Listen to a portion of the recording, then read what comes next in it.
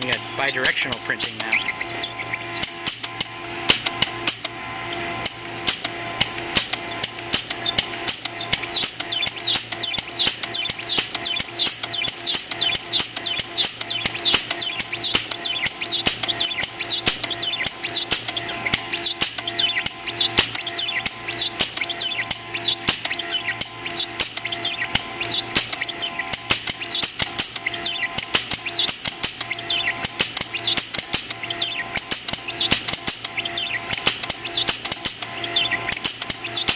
To bake some ultra precise flatbread or uh, shortbread.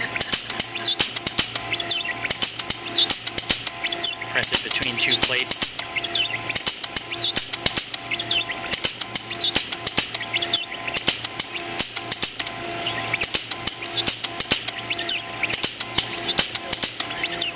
Yeah. Well, you can probably adjust the um, size of the the calibration so that the G code matches the uh,